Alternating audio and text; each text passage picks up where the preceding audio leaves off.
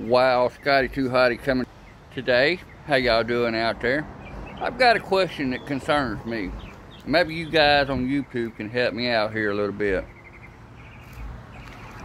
Everybody I talk to as far as farmers said they're not going to make any money this year in crop. Actually, they're going to be in a loss this year. Uh, how's that going to work? If a farmer's not going to make no money, then why would they plant? And if they didn't plant, how are we going to survive without food?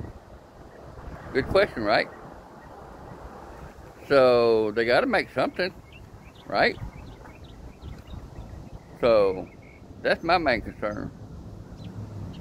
If farmers not going to make no money, but they still choose to plant, still fill the shelves at the grocery stores, but yet they're not going to make no money, hmm, something suspicious about that, right? So, yeah, whatever, right? So, yeah. How's everybody doing out there today?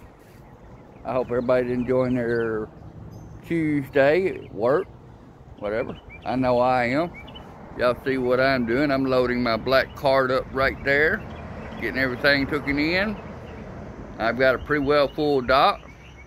Let me see if I can't show y'all a little bit. See all that's full.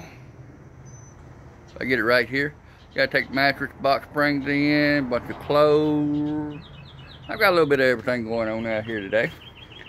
So, yeah. So what are y'all thoughts about the farmer still? Hmm. Leave a comment in the comment section down below. Give me a thumbs up. Hit that like and subscribe button. And appreciate y'all. We'll see y'all next time.